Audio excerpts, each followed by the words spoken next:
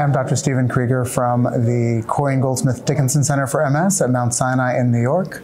And I'm Enrique Alvarez, and I'm at the, here in Denver at the University of Colorado Anschutz Medical Center.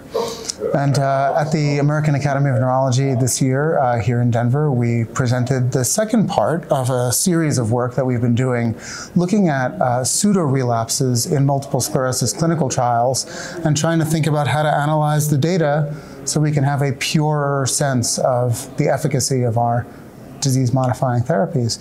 So maybe we'll start by talking about what a pseudo relapse is. I think most clinicians know, but yeah. how would you describe that? Yeah, I think a pseudo relapse is uh, a clinical event, uh, some symptoms that a patient would experience and kind of tell us about. Um, but they're not necessarily associated with inflammatory activity. Um, they, uh, we, we don't see MRI changes associated with them, and things that can bring them up include a lot of different things, but usually traditionally, you know, I think infections would probably be at the top of the list, but right. it could be that they're overheated, stressed, not sleeping well, those kinds of things. Um, and they can last a variable amount of time depending on how long that trigger is for them. Right. And it can be hard in clinical practice to distinguish a pseudo relapse from a true relapse. And in clinical trials, it's also hard to distinguish them. Yeah, I think sometimes it's very clear. Um, sure. And so we know that sometimes in these uh, in trials and in clinical practice, um, that they contribute a lot to um, the number of clinical events that we would see. Right. Um, but I think where we became interested, right, was this idea that uh, with high efficacy therapies that there was a lot more of these events than maybe events associated with MRI activity. Right. Um, and so trying to understand how much or how little they contributed to the trials was uh, you know, a big driver for us to kind of start looking at this. I think we both realized, as many other people have as well, that our highly effective medicines reduce new enhancing lesions by 95%, but they seem only to reduce relapses by 40 or 50%.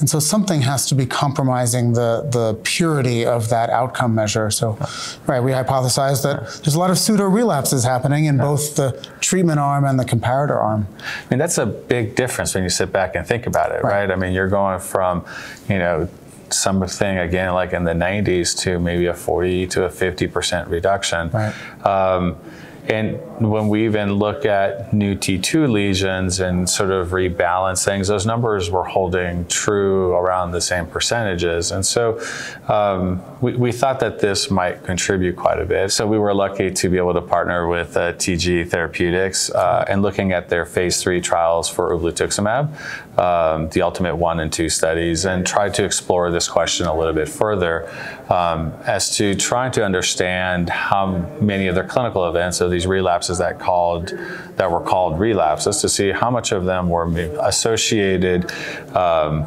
with MRI disease activity. Right. So at uh, at ACTRIMS in uh, in Florida in February of, of this year, we presented the first piece of this work, where we found that if we looked at an MRI confirmed criteria for relapse, a relapse followed by a new T2 lesion, and looked only at those events that had an MRI correlate, instead of a 50% reduction in relapses afforded by ublituximab versus teriflunomide, it was really more like an 88% reduction in those relapses, which sort of has some face validity to it. It's what we kind of come to expect in clinical practice. And then here at the AAN, we took this project a little bit further. Yeah. Um uh, Dr. Krieger has been very involved in uh, uh, looking at the question as to uh, what constitutes a relapse within a clinical trial, what kind of criteria. And so the question was then, hey, can we modify uh, the different aspects of a, of a relapse to say, can we get closer to that 88% reduction uh, that we could see? And, you know, well, it was Maybe challenging. it was a little bit of a challenge. Yes, it that's was. a good way to put it. I mean, you know, we looked at um, different stringent clinical definitions of relapse, whether a relapse had to create more of a change in EDSS or more of a change on the functional systems or all of the above. And even with this more stringent clinical definition, we were only able to refine this outcome measure to around 60%, a 60% reduction in relapse. It was only when we added back the MRI criteria that we got back to this 88 or so percent reduction in relapses. Yeah, we even played knowing that infections were such a big part of it. Could we alter how uh, long a little bit the, an infection could have been associated with a clinical event to help remove more events? Right. Uh, so we extended that to two months.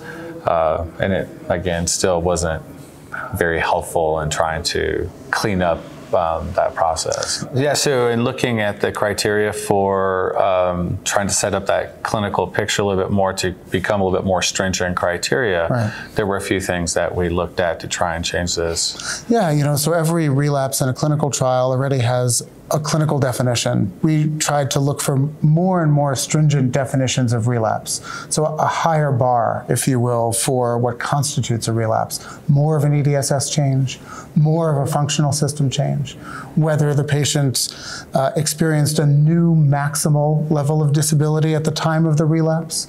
Um, things like this incrementally to try to eliminate these pseudo relapses and fluctuations from the relapse signal.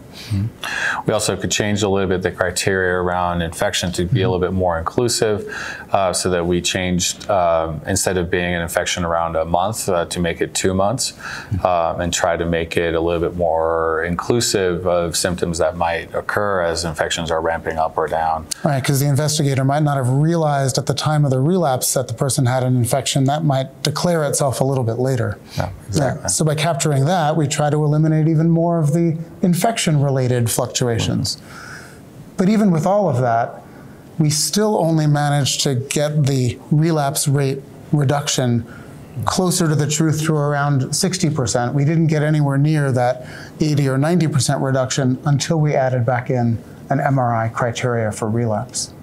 Yeah, so I think what we sort of learned from this is even with the more stringent clinical definitions, we really need an objective marker to know that new inflammation has occurred, a true relapse has happened. And at this point, without an MRI correlate, the clinical definitions for relapse are still too noisy to really show the true efficacy of the disease.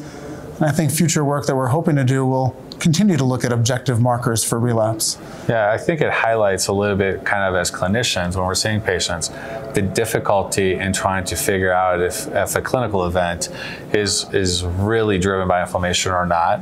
Um, and uh, clinically by itself, I might be a little bit too hard. Yeah, and so hopefully other biomarkers, and we're going to think about other MRI biomarkers and even serum biomarkers, may help us to further redefine relapse to get to a true assessment of MS disease modifying therapy efficacy.